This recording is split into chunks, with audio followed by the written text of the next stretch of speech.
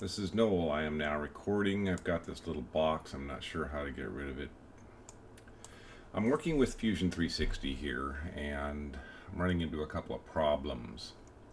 One, uh, this is a sketch that I've got and I've used a couple different fonts trying to get good clear uh, what I've done is a trace and I can bring up the tool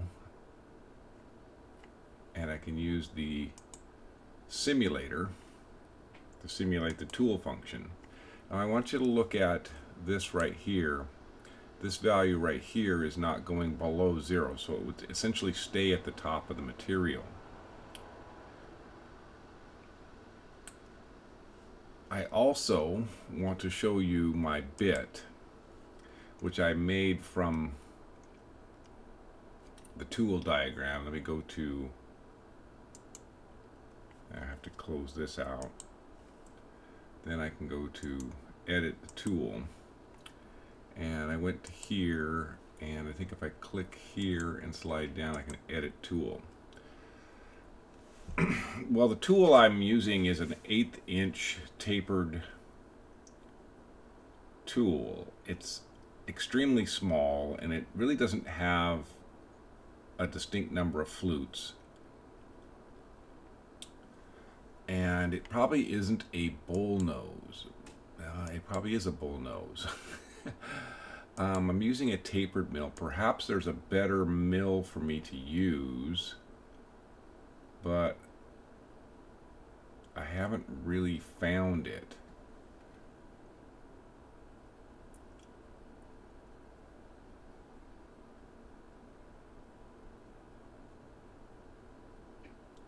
Of the ones that I see here, the tapered mill seems to be the best one. So I'll go back to Fusion 360 and I'll show you my problem.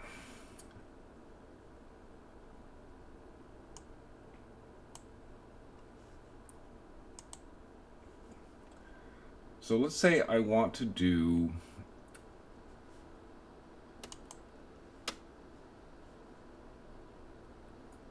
trying to get out of this here.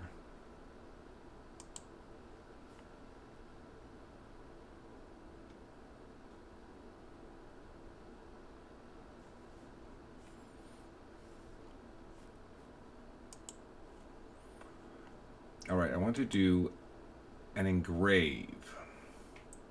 There's really not much information on how to do a graze. The previous one I did was a trace. And notice my little windows aren't coming up here but I want to do an engrave. They flash up for a while, but I can't seem to get them to stay long enough for me to read them. So I'll try the engrave, and I'll pick this as my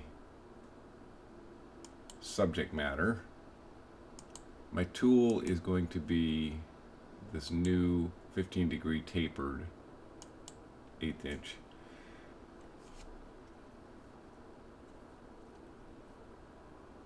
And I'm not sure here, but I'm I'm thinking it did better.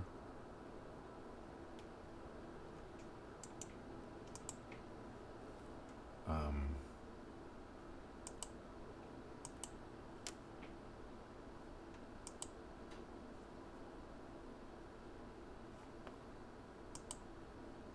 the heights have me confused. I'm not sure what this number is here.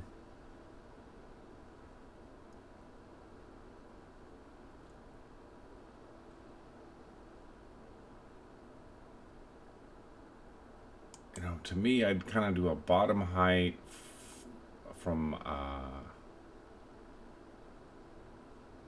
model top. And I really only want to go down a tenth of an inch. Let's see, minus 0.1 inch. And passes say okay and this is this is what I get and this is the whole subject of my video the toolpath is not supported for the given tool and settings, you likely need to change your tool. So the whole point of this video is, well, what tool should I start with?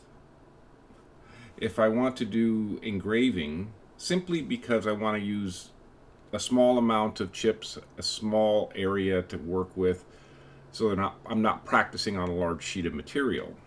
Engraving seems to be the way to go. However, not making much progress there. So I'm canceling out of this and I'll get rid of this engraving. I'll just hit cancel and I'll just get rid of this one. Whoop.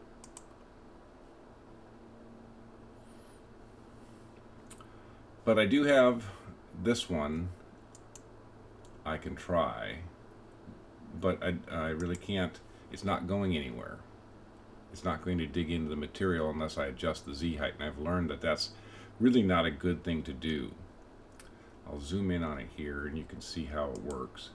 It seems to follow the letter just fine.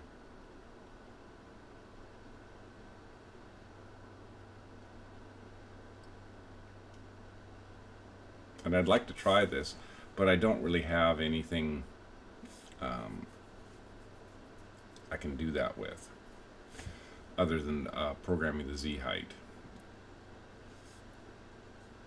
That's it for now.